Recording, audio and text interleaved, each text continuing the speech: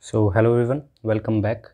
Now let us start problem number 11 which says a short cylinder of radius A and length L carries a frozen in uniform polarization P parallel to its axis.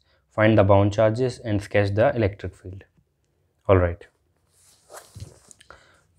We need to sketch the direction of electric field and we need to find the bound charges. So this is problem number 11 on page number 176 so we have a cylinder here. And it it has polarization p inside. All right so suppose like this. Positive positive positive negative negative negative. And it is it has radius a and uh, length as l. All right so suppose uh, we need to calculate the bound charges first of all.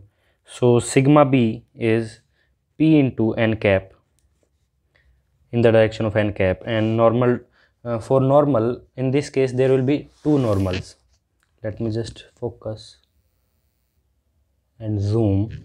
So normal upside the cylinder will be positive n cap and downside will be negative n cap. So we, we, we have to take both so sigma b is plus minus n cap or plus minus n cap or normal.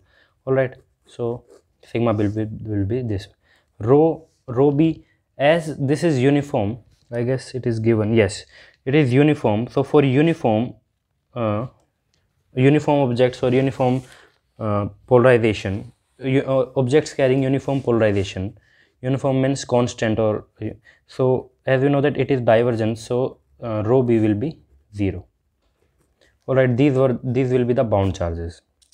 Now let us sketch the electric field for different sections. For number one l very very greater than a. It means that length has become very large and radius is now very small. So it will be acting like a uh, dipole. Sup suppose this is the axis.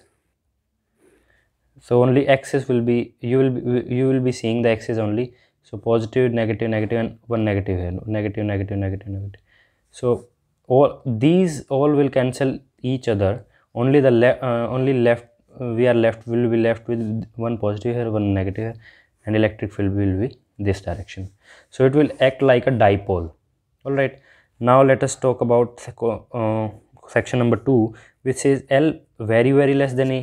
All right so if L very uh, becomes very less than A then only this part this circle will be visible to you. this spherical shell all right? And polarization is plus negative and it will act like a now it will act like a capacitor. You have seen that capacitor so it will act like a capacitor now. Here will be positive and here will be negative.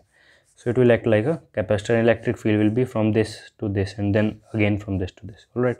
So now let us talk about the third part which says if L is approximately equal to A so then it will be uh, like a uh, magnet.